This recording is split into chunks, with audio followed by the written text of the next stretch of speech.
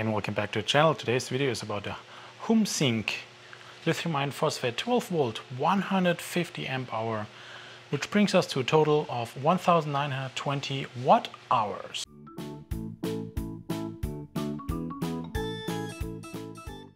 This video is purely about this battery today. We'll just look at this and it's great to see this battery comes in a group 31 housing.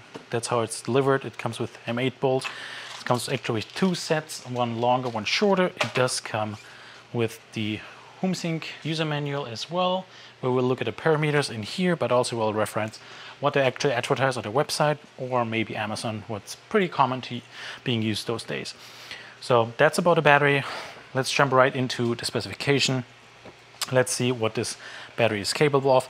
And therefore, I want to, um, as I mentioned, want to look at the user manual. At the user manual, manual, when you look here in this column, you can see that the standard maximum continuous charge is 30 slash 110 amp. So the standard is 30 and 110 is the maximum continuous charging, but the maximum continuous discharge in the, in the row below 110 amp. And the overcurrent discharge protection is at 300 plus minus 50 amp, so, so between 250 amp and 350 amp. Keep that in mind. We can see the weight and the dimensions in pound and in inches, so that makes it easy here for the US folks.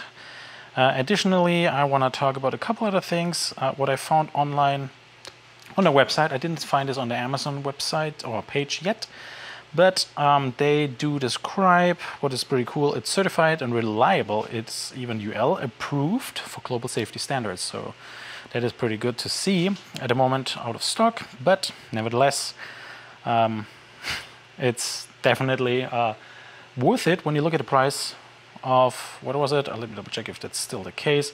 I think on their website it's $199. That is insane. On Amazon it's I think over $300 or something. So if that price is accurate and when it's back in stock, I think that is a nice price if you ask me for 150 amp hour. If you don't look for a mini version or whatever. So as mentioned, dimension is group 31 housing, standard housing what we had before for 100 amp hour. Oftentimes now we have more capacity pushed into the housing, which is good to see. When it comes to um, safety features, um, the BMS should have overload protection, over voltage protection, over charge protection, over discharge protection, low temperature protection, and short circuit protection. The only thing what I don't see is a over uh, temperature, high temperature protection here. Uh, we'll test on both as much as we can, hopefully, when we open it up. Uh, they claim they use A plus cells, prismatic cells it looks like. Okay, that's good to see. So what else? Uh, one other thing, and I, by the way, I do like this picture with the grade A cells. So I'm always comparing it, but I'm never mentioning it. I'm comparing it, uh, if it's actually like that or not. It has a 10-year life and 5-year warranty, so up to 15,000 plus cycles when you never go below or not less than 50% of depleting or discharging the battery. And they claim it's a 110 amp BMS. Uh, that's also what they point out here, by the way. And they have funny or nice little logos like a RV, a boat, or home solar. Anyways, uh, that's enough about the specification. I would say we'll do a capacity test, a high discharge test to see how much we can actually pull if the 110 amp maximum continuous discharge uh, we can continuously discharge and also if we can trigger the overcurrent protection, which with 350 amp um, might not be possible with my equipment at the moment. So we'll, we'll go there now. The battery monitor is reset. Battery is right behind there. It is connected to this one. So we'll get started with the capacity test. Then I'll get you back in as soon as we're done. All right, around 0.2C, a little bit more. Dang, look at that result.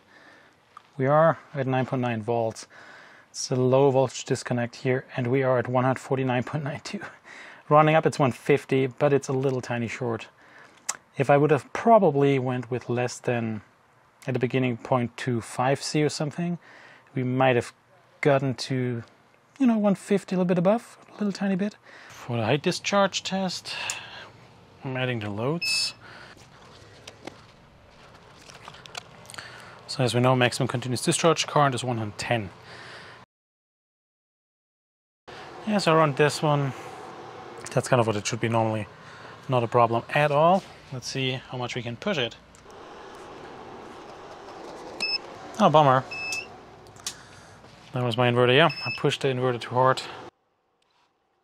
That means could shut off, but you can see we are pulling 190 amps out of this battery. The continuous discharge current is 110 as of the manual, so keep that in mind. Size your wire and your fuse accordingly, what you want to use it for. And the overall current discharge protection is at 300 or 250 to 350. Keep in mind it might not trigger anything, the BMS might not protect it.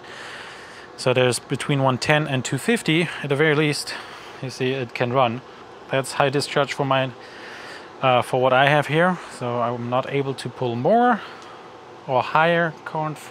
So um, next time I need to have a better inverter on my end. Anyways, let's continue with the teardown. After seeing the cap capacity test and the high discharge test in one, I wanted to show you all of it, making it as short as possible. I hope you're satisfied with what you see. Keep in mind uh, that you size your wires accordingly and you don't want to overdo it, at least what they rate the BMS for, because otherwise it might overheat and damage the BMS at one point or the cells. Safety first, don't do that at home. All right, it was pretty cool. I got it out and I didn't didn't see this before, but here we can see um, the SKU number, model, nominal voltage. We can see that as well as date.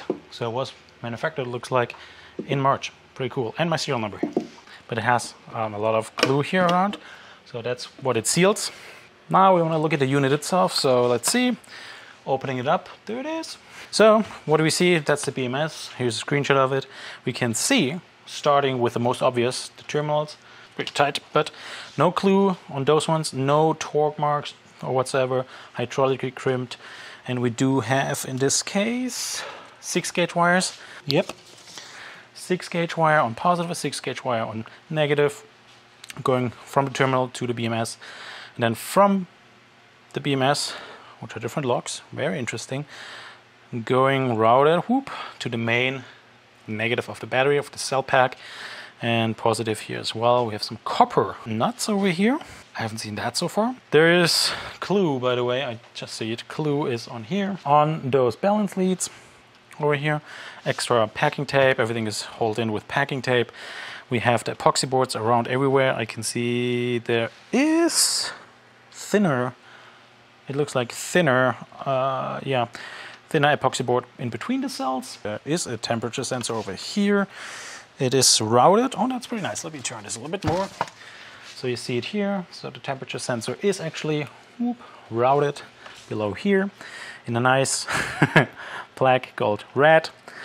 Those are, by the, by the way, flag colors of Germany. Just want to highlight that. Very important to understand since I'm German, right? And we can see they're routed nicely, but used just with packing tape, so holding in place, as we oftentimes see. And then, yeah, we can see actually let me do this. The cells itself. There we go.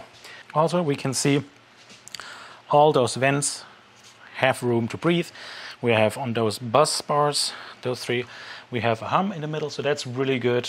So contraction, expansion were possible. Laser weld, welded terminals here. We have, looks like bolted in, yeah, with a screw holding in the balance leads. Also, I think it's nice. They're using high density foam. They have a nice cable routing underneath. It's just used a lot of packing tape. That's the cheapest brands, but also it's meant to never open. So if there's a defect within the five years, ideally what they should do is just replacing it. So you should never have to deal with it because otherwise you see it is, it is very difficult to open and you will destroy the housing. So here's the temperature sensor. Most likely should be able to do this. QR code, let me see. They claim it's a so if I'm not mistaken, those are the cells. Looks like I wasn't able to scan it, but I was able to type it in. So because I was able to see it, manufacturing data is 2023, and it says 150 amp hours. So that's good to see as well. It's a typical Chinese solid build. I don't want to say it is perfectly fine, but at least from what I can see here, they used a little glue, especially here. So to not get the balance leads loose, but not on top, which I'm surprised. They have a good sized wire for the 150 amp. And it's a 100 amp rated BMS. I just saw this written on it, so it's interesting that they label it 110. Uh, I'm not familiar if there's a brand. There's no Bluetooth, by the way. I didn't mention that. It doesn't feel like it's loose, but uh, some torque marks would be great. And usually they slap on some glue, so it's never getting loose. Everything else is like packing tape and then epoxy board outside, so it's protected on on the four sides outside, but not up here and not on the bottom. On the bottom is just high density foam. Uh, there we go. Now we'll do the high temp and low temp protection test. So now you should see it is charging here, 10 amps. And by the way, I still have my sticker on, so protective foil. After years of using this, finally I'm taking it off. It's charging. We'll use the heat gun first. Please look over here.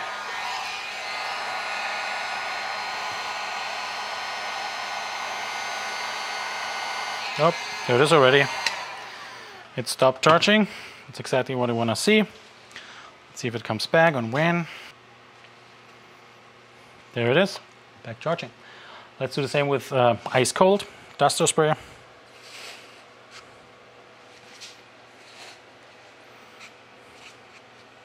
Oh, there it is already. Perfectly fine. So with the duster it works. Duster is going less than 20 F. Let's see what ice pack does. see if it is more like the human temperature, 0 to so 32 F.